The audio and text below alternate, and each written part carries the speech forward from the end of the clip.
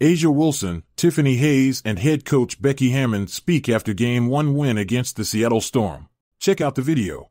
Hey y'all, we got the first dub in the house. Y'all come check us out next game. Yes, sir. Got that dub, baby. It's playoff time, boy. Playoff time.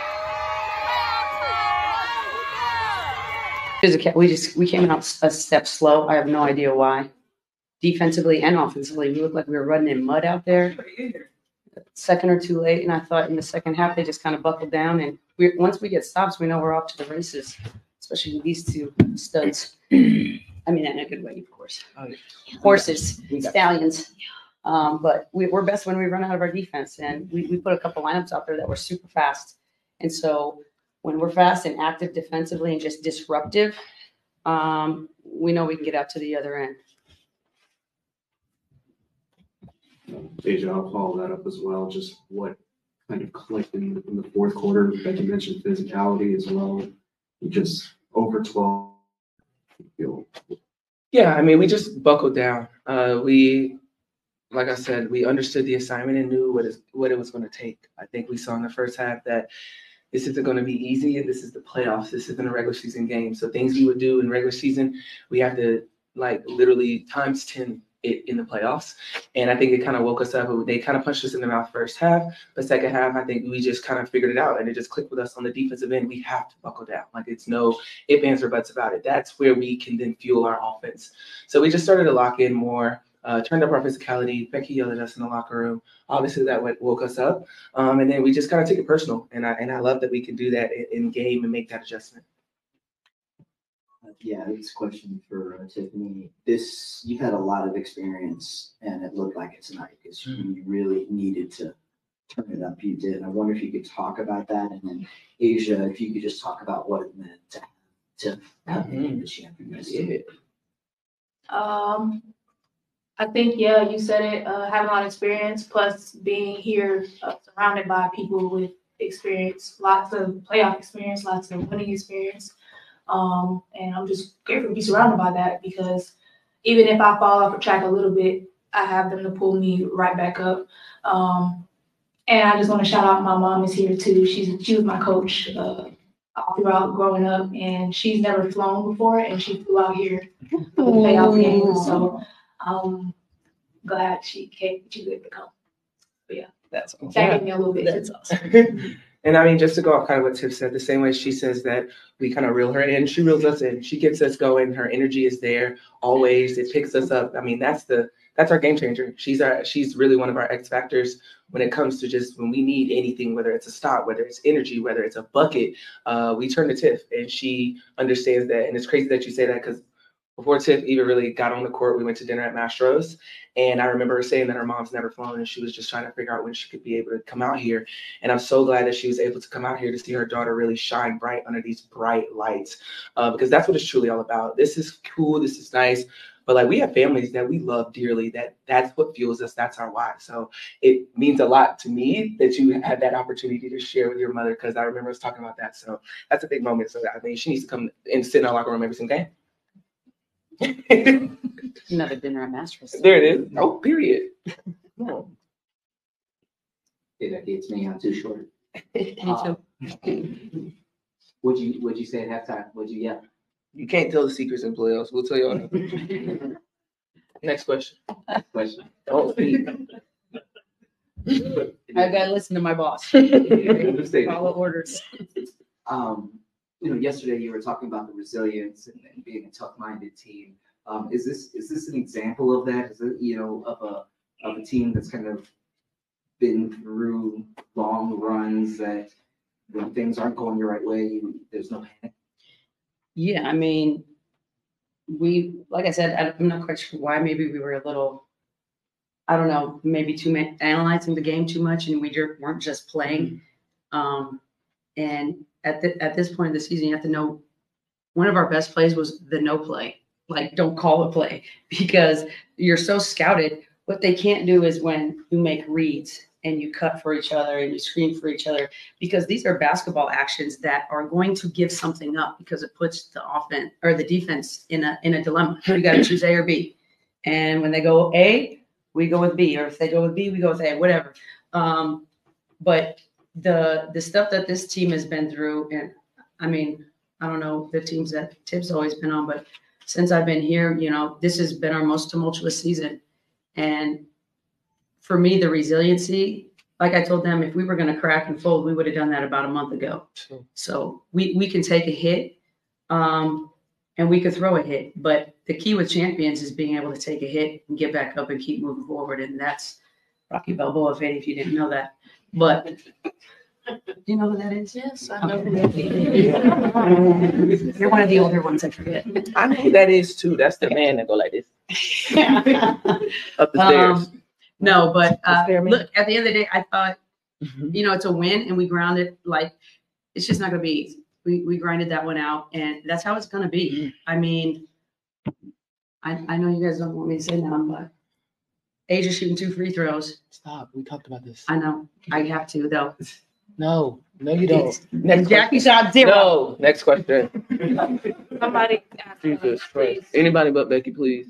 Getting to that point though about grinding out this win, right? Uh, what does this mean for you and your teammates, right? Knowing that you go through, through some adversity from the offensive standpoint tonight, you know, up until the end of the second half.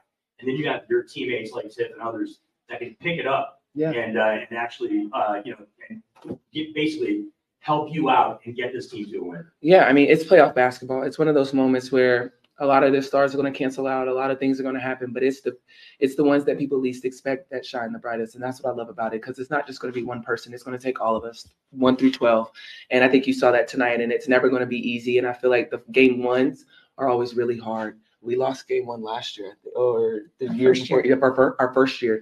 It's hard, uh, even though you're home and it's everything. There, uh, Seattle's coming in with a completely different mindset. And so we have to understand how to focus on us and not get caught up in a lot of the extra stuff. And like Becky was saying, I think we overanalyzed a lot of stuff because we were just waiting, waiting, and then it caused us not to just dictate actions and we were just being just reacting. So in these moments, we have to just stay within our system and our identity and trust that it's going to get us the win and trust one another. And I think that's what you saw tonight is like we didn't fold, we didn't look at each other, we didn't get into a hole. We just really just steady started chipping away and understood our defensive assignments. Tiffany, you mentioned your mom was your coach. What was the biggest piece of advice uh, that you learned from her during that time that you take into your professional career now? Um, she always used to tell me that uh, I had to always go 120 percent because she didn't want none of the other parents saying that she was playing me just because I was her daughter. So I had to be 10 times as good as everybody else on the court. So that's why I'm always going as hard as I can on the court, trying to make sure I'm doing all the right things because That makes I get that from her. So yeah, that's where it comes from. That is. Yeah, That's hundred 100%. percent her. She's still playing at hundred and twenty percent. Oh, I did. All the time. Well, that was great. Oh. There's a more. Wow.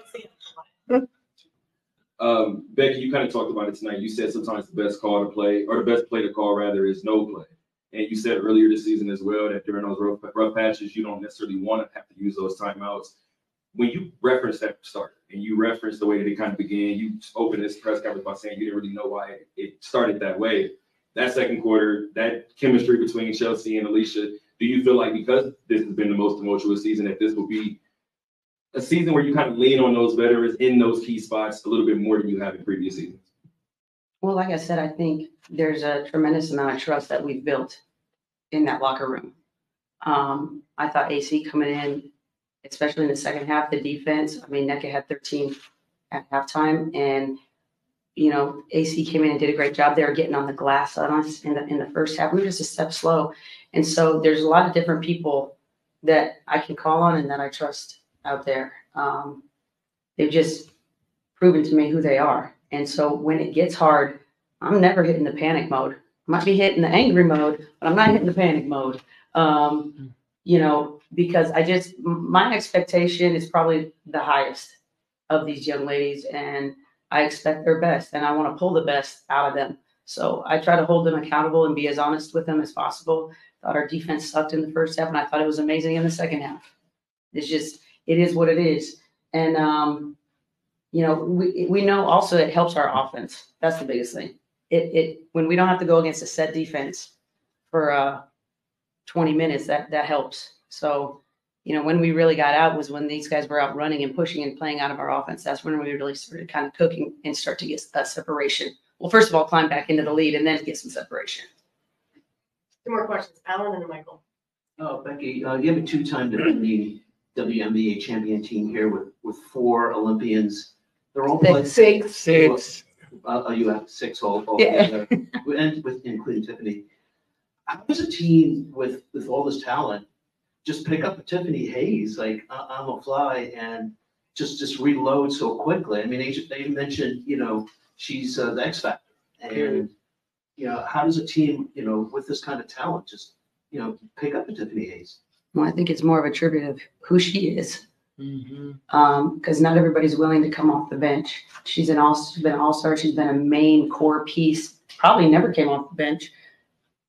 Ever? Yeah. So I mean, it's, it's a different, I think it's more of a question for her.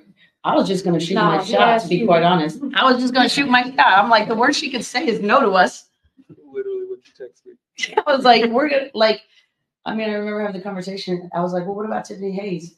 I've always been a fan of hers, by the way. I don't know if I've told you that, but I've always loved the way she plays because she's a dog. Um, and I, you never have to coach effort with her. Mhm. And um, that's a that's a huge luxury as a coach that I don't have to coach your try hard factor. And um, she lit us up also in the past. So I was like, you know, and, and I thought her wording when she said she was going to retire was very specific. And it told me a lot. Her statement said a lot, and I'll keep that to myself. But when she said how she was retiring, and, and she never said from basketball. So I was like, you know what? She's still probably in great shape. She's over there playing. So I was like, let's go. I want to know what you're talking about. Because Tiff was, Tiff was gone. I was gizmo, coach. Yeah. I'll Took expound Yeah, you later. tell me. Well, I will. Yeah, I don't want to say anything for them. but I- She'll tell me. She'll tell me. So I was like, I mean, if you guys know me, I might fail a thousand times, but it's not gonna be for lack of trying. I'm gonna, I'm gonna try. And so, uh, well, I was ecstatic when she just said yes to take our, our phone call. Um, I just think she just gives us such a different gear and I love that. But I'll tell you later. Yeah. Final question. Yeah, A'ja, just, um, you know, obviously it was a tough first half. Man, it was shooting for ugly, you, wasn't it? But you, I think you're fifteen points in the third quarter. I think it's the most you've had in the playoff third quarter. I just, um, I- I just wonder if you sort of talk about that, you know, maybe Yeah. what's going on in your mind at halftime and just how ready you were for that third quarter. Yeah, that first half was ugly, joy. Um, that's just the way the game goes. You know, the basketball guys does a funny way of showing me. Uh, sometimes you just gotta get it out the mud, and I love doing that because it keeps my mind going. I think my teammates just continue to like never let me doubt myself. So, um, and I sometimes do doubt myself, and uh, they always pick me up. So I just kept they kept beating me the ball, and then that's when I just started to calm down. I think I was rushing a lot in the first half because I'm like, oh, it's there. Let me just go ahead and tag This, this is it. Um, but once in the second half, the game kind of just settled down for me, and I really started to dissect the defense and what they were doing. Um, and then that was kind of when I got rocking and rolling. But it is what it is. I'm I'm just happy that I didn't stop shooting, and I'm also happy that my teammates still trusted me with the basketball. Because shooting the way I did, I would have been like, girl, go in that corner. Yeah. And then on that, note, thank you very much. Period. Thanks, ladies. Thank you. Hideous. Be sure to like, comment, and subscribe. See you in the next video, Hoop Life family.